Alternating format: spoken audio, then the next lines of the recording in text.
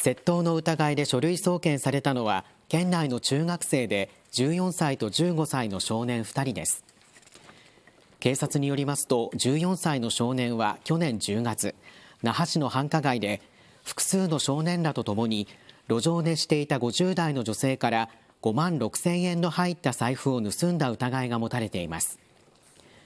また15歳の少年は去年10月那覇市の繁華街で路上寝していた20代の男性から2万円が入った財布を盗んだ疑いが持たれています。2人は別々のグループで犯行に及んでいたとみられ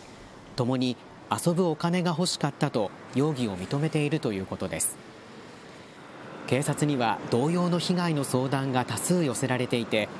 警察は少年たちが路上寝している人を狙って犯行を繰り返していた可能性もあるとみて関連を詳しく調べています。